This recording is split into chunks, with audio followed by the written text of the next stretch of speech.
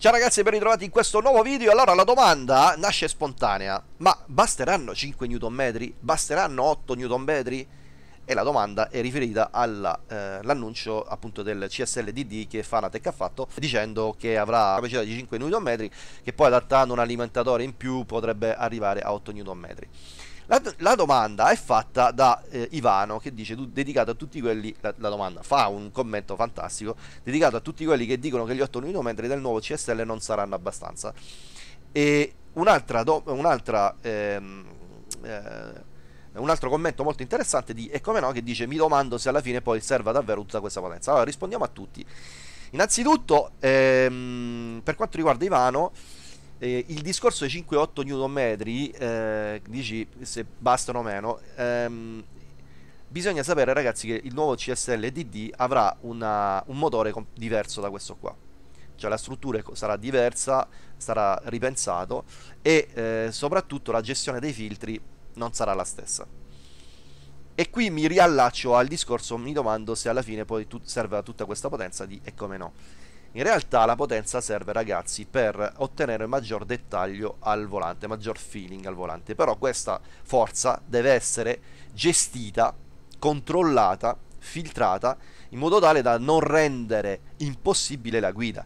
Ieri ragazzi, mettendo 100% sul, vo sul volante, 100% sul software, è ovvio che diventa ingestibile, mi restituisce dei picchi che vanno oltre il 100% della capacità di quello che domanda eh, il software al, al volante e viceversa e quindi va in clipping e quindi di conseguenza non è reale quello che succede. Infatti il mio è un video a cazzeggio ragazzi. Non è una prova scientifica che no assolutamente era solo per dire ah ragazzi dai mettiamo l'accento vediamo che succede. Cioè eh, in questo senso qua bisogna prendere il video di ieri. Ed oggi in realtà eh, non posso neanche comprovare che 5 e 8 Nm di quel volante lì che ancora deve uscire, che avrà una tecnologia di motore eh, direct drive completamente diversa da questa e con una gestione software probabilmente diversa da questo, eh, è un paragone che non esiste, ma è ancora una volta solo per dire ma un direct drive di 5 Nm di 8 Nm bastano? E questa è la domanda. Allora, io vi dico una cosa, già la risposta ci sta ma certo, se già i motori a cinghia a 5, 3, 4, 2 Nm ci hanno bastato fino adesso, secondo voi un direct drive da 5, 8 Nm non basta? Per me sì. Oltretutto la gestione dei filtri, e questo basta per chi ha un direct drive, eh, un DD1 ad esempio come il mio, aprite Fanalab, d'accordo? Adesso ve lo faccio vedere che è qua, e vedete ci sono in alto 1, 2, 3, 4 e 5, praticamente sono le 5 configurazioni possibili che si possono eh, appunto utilizzare sul Fanatec in base al simulatore, in base alle proprie esigenze, quello che volete. Tutta questa serie di filtri che ci sono, se io vado ad, ad agire su questi filtri lasciando le forze uguali come sono, il feeling è completamente diverso. È un'ovvietà che, che vi sto dicendo, però è importante dirlo.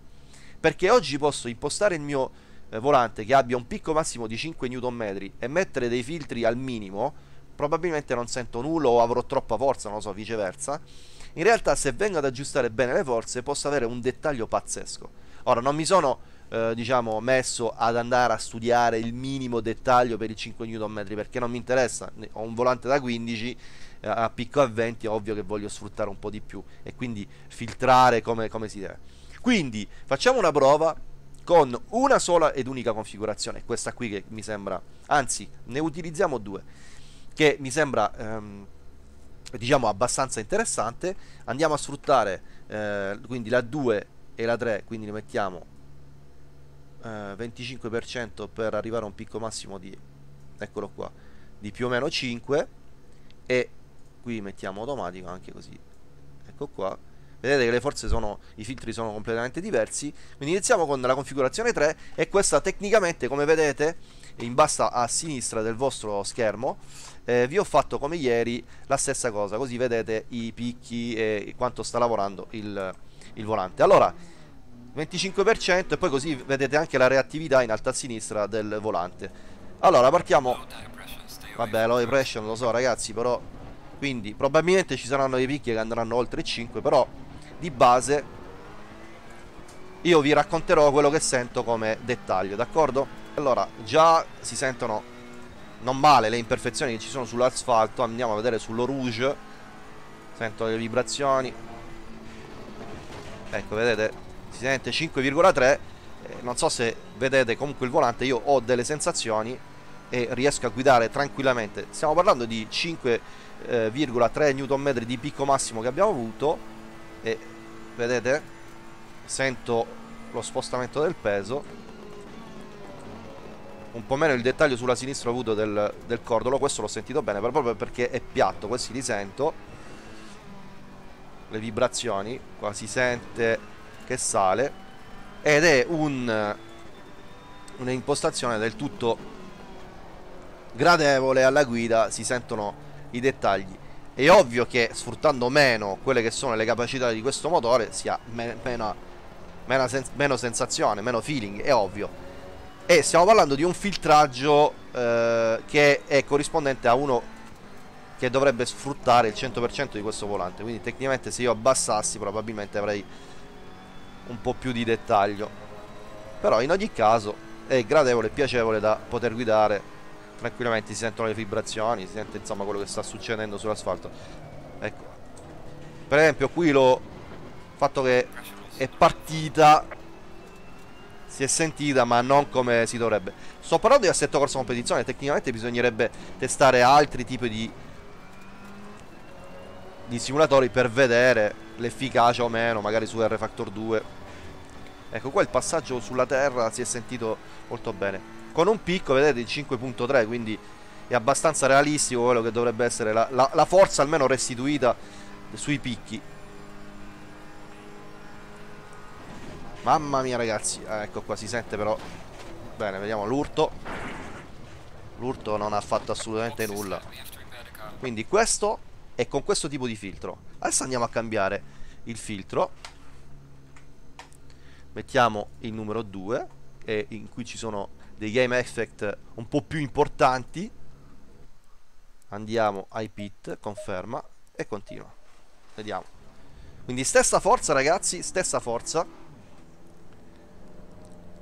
stessissima forza con un filtro completamente diverso.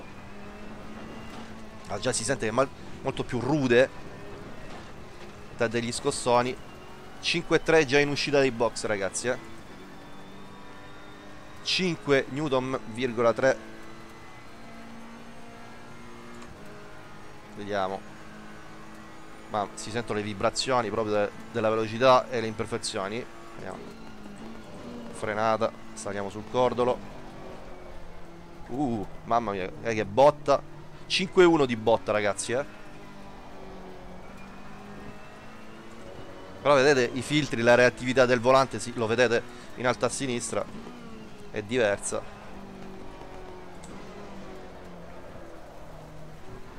Però lo scivolamento laterale si sente poco, devo dire la verità. Sarà probabilmente force feedback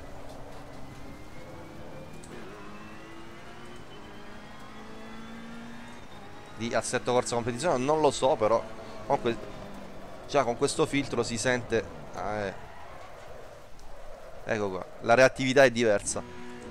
Comunque è un force feedback di tutto rispetto a 5 Nm e vedete che i picchi sono... Adesso però andiamo a vedere se mettendo 150 euro in più eventualmente per un CSL DD, ma vi ripeto ragazzi, è strutturalmente è diverso.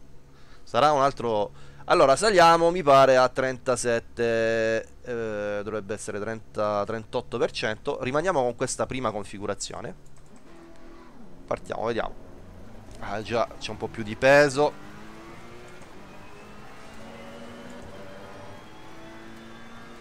Eh, Si sente già un po' più il peso della macchina. La resistenza. Vedete che serve la potenza ragazzi alla gestione del dettaglio. Sì ovviamente avere più forza vedete 8.1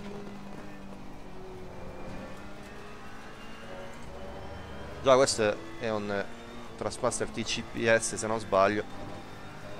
Ho una CSV 2.5 vado sui cordoli. Sente bello il dettaglio. Sente la forza G centripeta no centrifuga scusatemi. Qui le vibrazioni. Andiamo alla staccata. Ah, qua le vibrazioni quando scivola lo, lo slittamento, il saltellamento laterale si sente. Quindi probabilmente con un, la gestione dei filtri un po' diverso per quanto riguarda i 5 Nm si dovrebbe sentire qualche dettaglio in più. Però bisognerebbe mettersi lì a studiare ogni singolo filtro, aumentare o diminuirlo in, modo, in, in base alle forze. Però già questo a 8 Nm, ragazzi, con questo tipo di filtro è, una, è pazzesco, eh. Senti qua come ruggisce il volante, ragazzi. È proprio una figata e si lascia guidare alla grandissima. Guarda qua.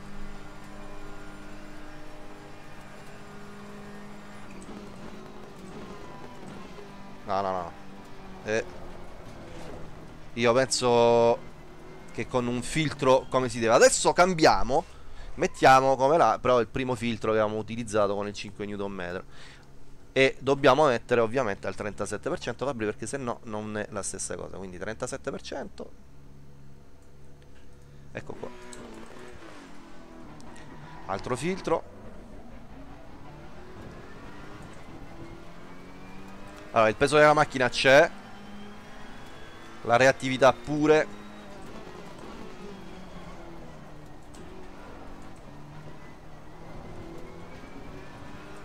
il volante è più reattivo, però c'è meno dettaglio con questo tipo di impostazioni di filtri. Vedete ragazzi, la ricerca de, del, della giusta configurazione dei filtri vi può veramente cambiare le sensazioni alla mano. Credo che l'altro filtraggio e l'altra impostazione, li chiamo filtraggio ragazzi, ma mi capite bene, eh, l'altra impostazione in realtà... Ehm, è più divertente, più divertente, più dettaglio, più presente.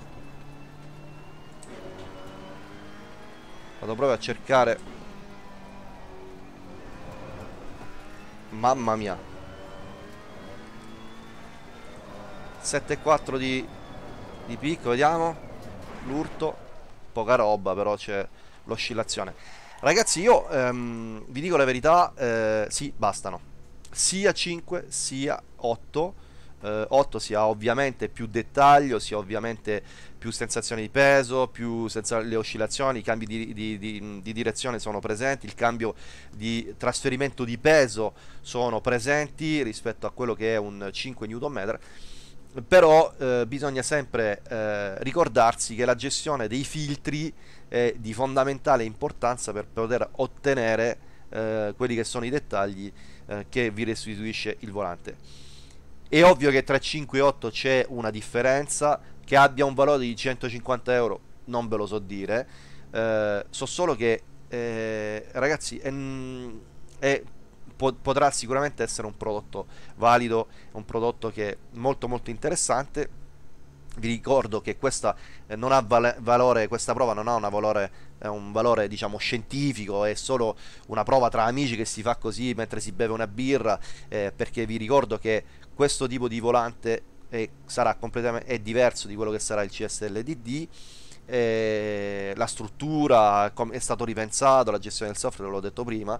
Eh, quindi prendete questo video come un test tra amici eh, però onestamente così eh, oggettivamente 5 Nm e 8 Nm con una buona gestione dei filtri basta ed avanza io ragazzi vi ringrazio veramente tantissimo eh, state, state, sempre connessi perché eh, ci sono tante novità eh, a livello di mercato che stanno uscendo ci sono delle immagini particolari che ci daranno modo di poter discutere vi ringrazio per avermi seguito, se siete arrivati sino a qui perché è durato un pochettino questo video qua. Come al solito un pollice in su se vi è piaciuto il video, se l'idea vi piace e eh, ovviamente iscrivetevi al canale se non l'avete ancora fatto. Noi ci vediamo prestissimo da Fabrizio è tutto. Ciao!